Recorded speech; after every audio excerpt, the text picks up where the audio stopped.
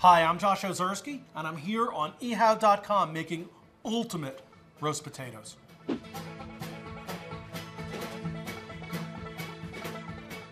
I have got this great recipe, the original provenance of which uh, comes indirectly from Heston Blumenthal, the great British uh, chef, by way of the Food Lab in Seattle. And basically, it's a way to get the potatoes broken up in such a way that they really absorb the oil. Now, I've taken potatoes, I've quartered them, and then as per Blumenthal's method, you rinse and rinse and rinse and rinse them until you get every little bit of potato starch out. I just like to rinse it in the sink with uh, a steady at a steady pace. All right, so I have these boiling in water now, and I'm going to let these boil and boil and boil until they're not just soft, but almost at the point that they're beginning to fall apart. You don't want to actually have this turn into vichyssoise, but you want to have it really beginning to break down. And then once that breaks down and goes cool, that's when the oil is going to hit it. So I'm going to let this boil now. So if you see, they're kind of beat up looking, which is what I want. I want these to be beat up looking. I want them to have all of their inner viscera exposed to the oil. So speaking of oil, I'm going to take my roasting pan now, and I'm going to get a little bit of heat under it.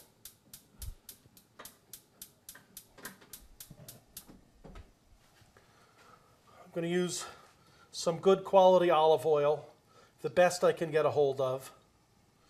And I have some garlic here, which I am going to put in. I want the garlic to flavor the olive oil. If you put the oil and you have everything go in there and then you throw in the garlic and just hope for the best, obviously you're not going to get the really even flavors. And again, this is a next level type recipe, so that just won't do. You don't have to get them super brown. Like where they are right now, where they're starting to sizzle, they've already given up their oil, their own uh, volatile oil into the olive oil and mixed it all together. So I can basically turn this off. And now I'm going to put in the potatoes. And I'm going to put in a whole bunch of rosemary too. And I'm going to move this all around and make sure that everything is super coated with oil. But if there's any question about it getting coated with oil, I'll see to it that it's settled by coating it with even more oil. All right.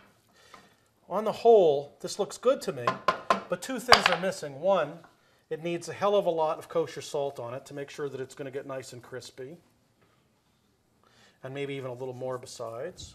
And then it needs some black pepper. All right. So now I have some very oily potatoes, and I'm going to put them into a hot oven, an oven that is 400 degrees for about 15 to 20 minutes. And you flip them just like you would if you were cooking it on the top of the stove. So now I've turned it about three or four times. It's been in about 20 minutes or so. I'm going to take it out. I'm going to serve it.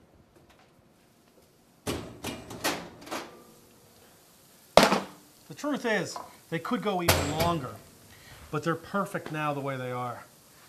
I mean, I just want to present to you with this. Look at that. How beautiful is that? I'm not even going to eat it. That's how, that's how beautiful it is.